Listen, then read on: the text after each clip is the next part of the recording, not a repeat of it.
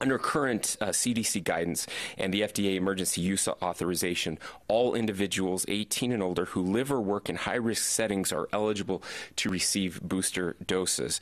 Now, there have been uh, there has been a lot of confusion over who is eligible. We understand there may be an announcement from the CDC and the FDA coming tomorrow um, that hasn't been confirmed. We're hoping that that will be broadened. But in the meantime, as we wait for the CDC and the FDA.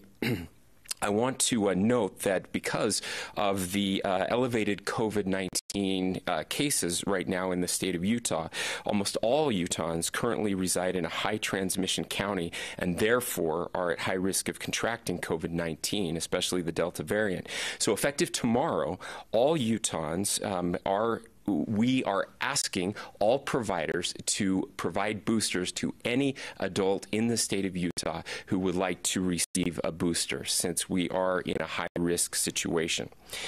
So, based on the timing of their first shots, the following people could receive their booster doses if they have not already.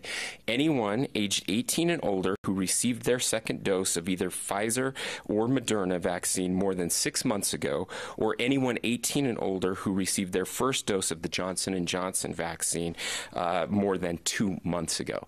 Now, several states have made that change. We add Utah to that list again starting tomorrow. If the CDC and uh, and the FDA make a decision uh, obviously, that that won't be uh, that that won't change anything. But we are encouraging people to uh, to get their boosters, um, and and we we're also asking vaccine providers to proactively reach out to anyone over the age of 65 as well as those with underlying medical conditions to encourage them to get a booster dose. Unfortunately, the whole booster uh, discussion has been very confusing to most people. Um, it's been estimated that nationally about 90% of adults qualify under the uh, the uh, under the recommendations of the CDC and the FDA right now, but it's so confusing that no one knows if they qualify.